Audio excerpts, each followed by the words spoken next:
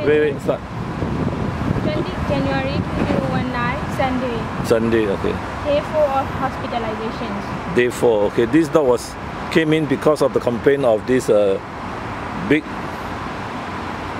wound on the how is it? big wound on the above the elbow due to initially a small cut and then the dog kept on licking until the wound is really very big and uh, swollen and itchy.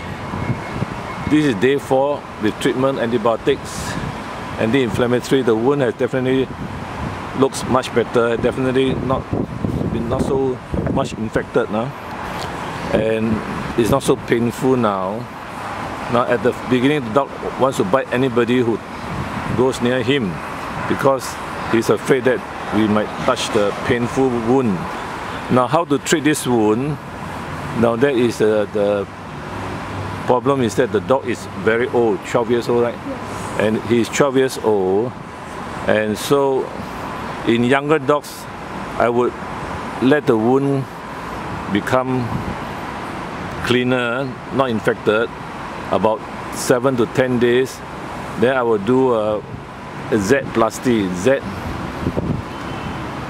and then I will stitch, stitch up and close up the hole, remove the granulation tissues, debridement, and uh, that will be good for the dog because otherwise it will come back again with this uh, irritating infection again.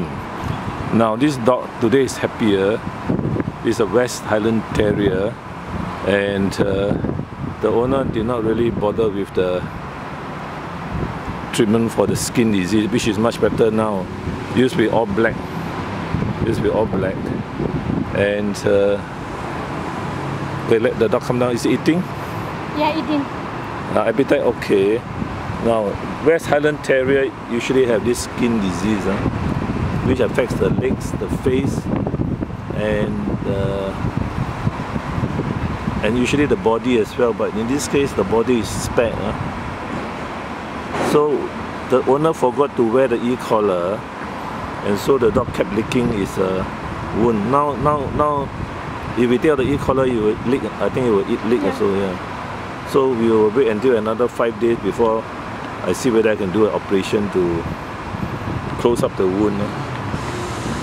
Does it bite already now? Uh, same time, but No, because it's angry. Okay, let him go for a walk. We wait another five days. Uh, I talk to the owner.